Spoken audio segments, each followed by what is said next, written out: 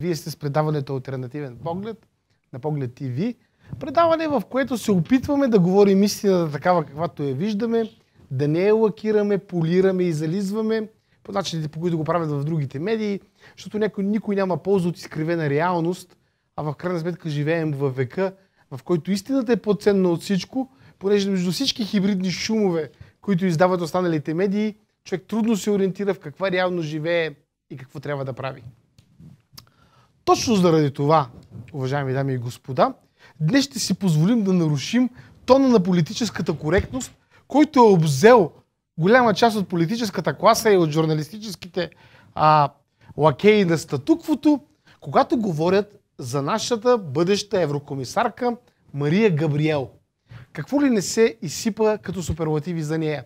Тя била най-подходящия избор, била страшно експертна, можела да се вмести във всеки ресор, била супер номинация, страхотно попадение, Бойко Борисов е хвали, Жозеф Дол, а, ли, лидерът на парламентарната група на НП, се обажда специално да се убеди, че Мария Габриел е нашата номинация, а един слънчев кадър на Европейската народна партия, нямайки какво чак толкова да каже за Мария Габриел, обяви, че тя е добра кандидатура, защото е млада и е жена. Красиво определение, неясно дали самата Габриел е останала възхитена от такова описание на собствената си натура. Въпросът обаче е друг. А, малко след нейната номинация излезе една много изключително притеснителна информация за действия на госпожа Габриел в качеството на евродепутат, продължаващи и до днес. Списание Аспекто пуснаха един материал, в който а, ясно се вижда, че от 2014 година насам, а даже дори може, би малко по-отрано, Мария Габриел като евродепутат ползва общинско жилище в София за скромния найем от 400 лева. Скромен найем, защото апартаментът е над 120 квадрата, намира се в Лозенец, на място на което казват посветени и запознати, найемите започват от 1500 лева нагоре.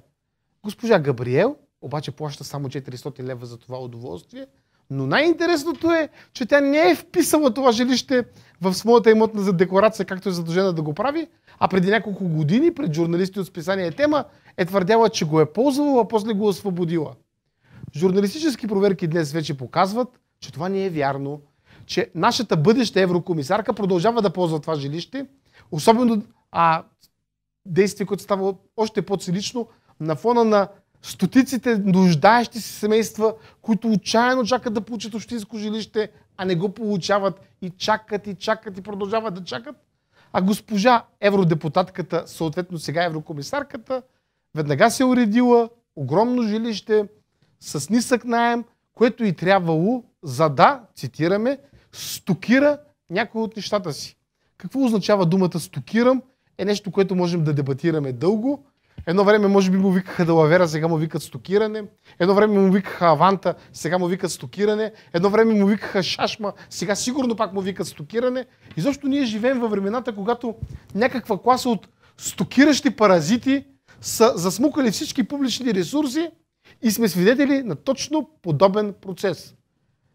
Драмата в София с общинските жилища е огромна. Общината на практика няма жилища политика, не провежда такава, отказва да провежда такава. Междувременно обаче жилища за наши хора, а госпожа Габриела е една от тях, винаги се намират. Как става този процес? Места в детските градини за наши хора също винаги се намират, докато хиляди други, стотици други родители чакат и не са сигурни дали ще успеят да запишат своето дете в детска градина. София представлява една олигархична снимка на България и действията, които госпожа Габриела е предприела, ни показват това.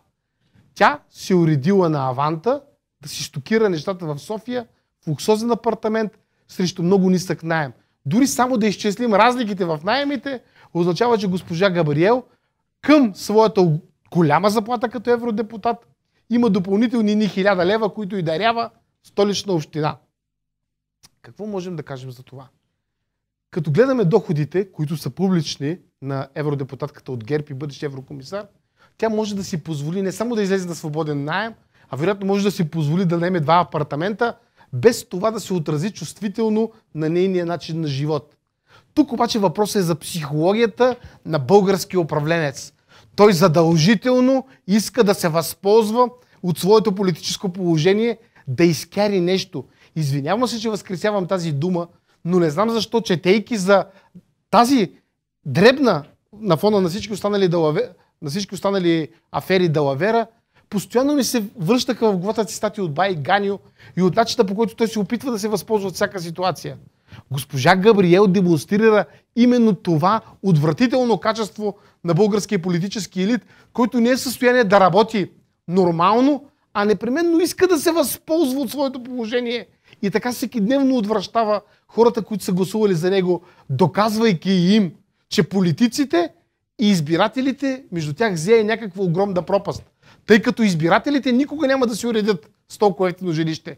Те ще бъдат драни отново и отново с високи цени на тока, с високи цени на свободните найеми, с високи цени на консумативите. А такива като Габриел живеят в космоса, защото се възползват от всяка ситуация да спечелят нещо, да приберат нещо, да стокират нещо.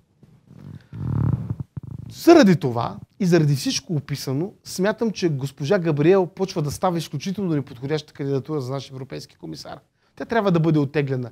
В името на това България поне за малко да стане отново нормална държава и да се даде поне някакъв знак, че класата на стокиращите паразити ще бъде спряна или ще получи някакъв отпор. Противен случай, какво казваме на хората? Тези са използвачи, те ще успеят, тяхно ще бъде царството европейско. За мен това звучи отвратително. Благодаря ви.